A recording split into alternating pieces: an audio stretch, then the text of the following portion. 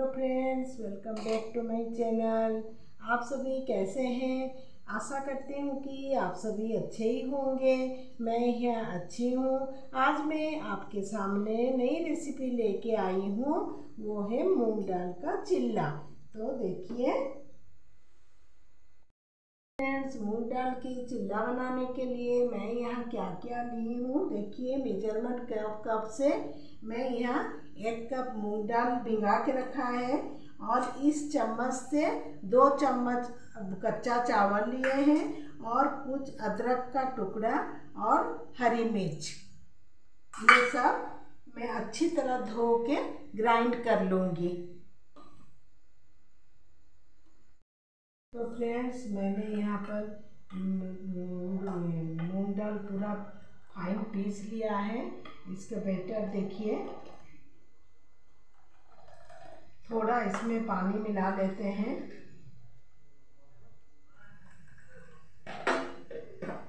थोड़ा पानी मिला लेते हैं।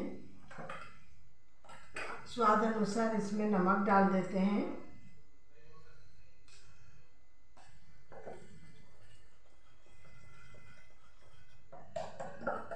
यहाँ पर नमक डाल दिया मैंने।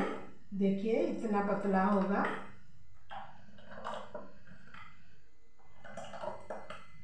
यहाँ पर मैंने गैस में तावा चढ़ा दिया है।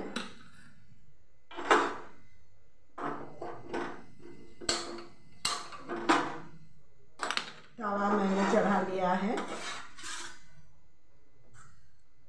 यहाँ पर मैं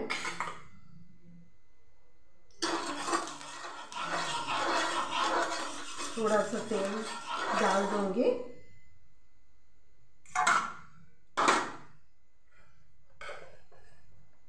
ये चिल्ला आप चटनी के साथ भी खा सकते हैं, सॉस के साथ भी खा सकते हैं। बहुत अच्छा रेसिपी है ये। आप भी बनाइए, आप भी ट्राई कीजिए।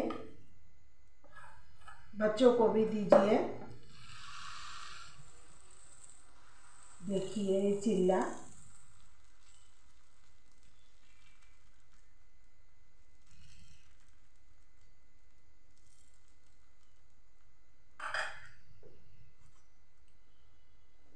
हल्का सा इसमें तेल डाल देंगे।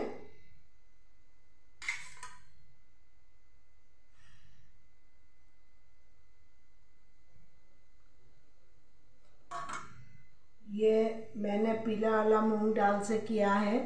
और आप लोग, अगर छिलका वाला दाल मिले तो उसमें भी और बढ़िया होगा, थोड़ा कलर ग्रीन आएगा, लेकिन उसमें ज़्यादा टेस्ट लगता है। इससे भी ज़्यादा, उसमें ज़्यादा टेस्ट लगता है। आप लोग भी ट्राई कीजिए, फटाफट बना सकते हैं। बस दो घंटा लगेगा। दो घंटा भी नहीं, उससे भी कम लगेगा। भींगने में दाल ये फटाफट भींग भी जाता है मूंग दाल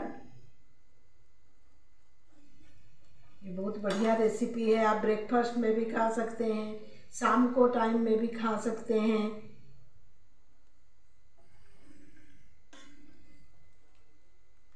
टेस्टी है।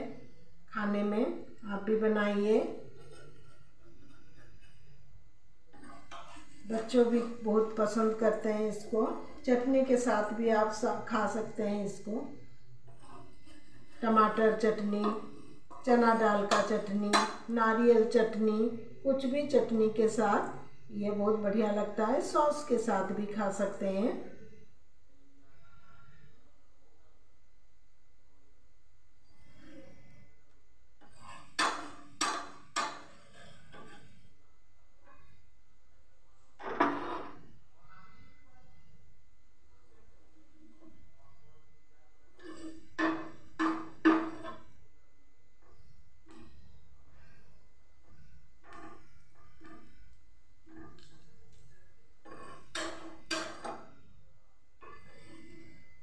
देखिए।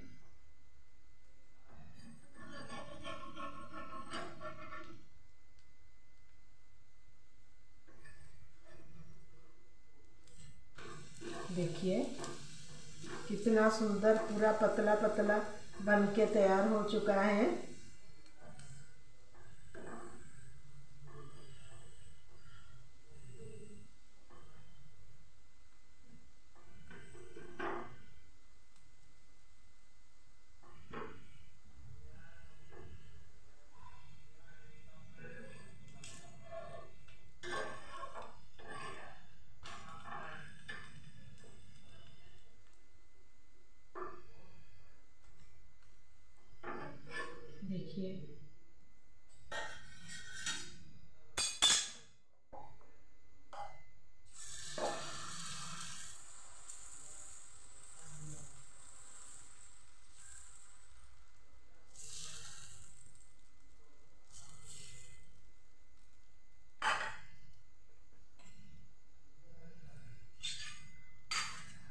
थोड़ा तेल डाल देंगे। तब और टेस्ट बढ़ जाएगा, थोड़ा कुरकुरा भी बन जाएगा इसमें।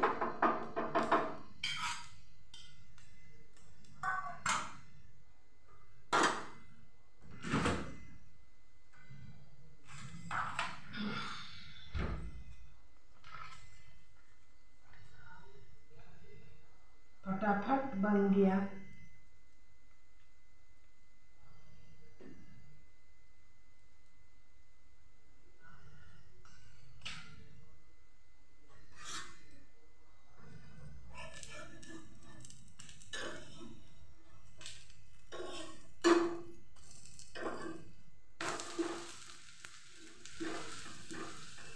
तो फ्रेंड्स, आप भी बनाइए, आप भी ट्राई कीजिए। और कैसा लगा, आप खा के बताइए कमेंट में। अगर मेरी रेसिपी थोड़ी भी अच्छी लगे तो आप लाइक, शेयर, सब्सक्राइब करना मत भूलिएगा। कमेंट करके ज़रूर बताइएगा कि कैसा लगा।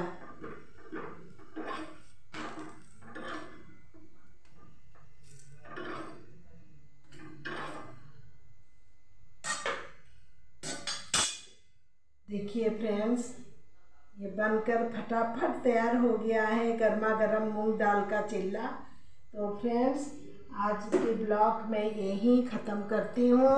फिर मिलती हूँ आप लोग से नई ब्लॉग के साथ। तब तक के लिए बाय टेक केयर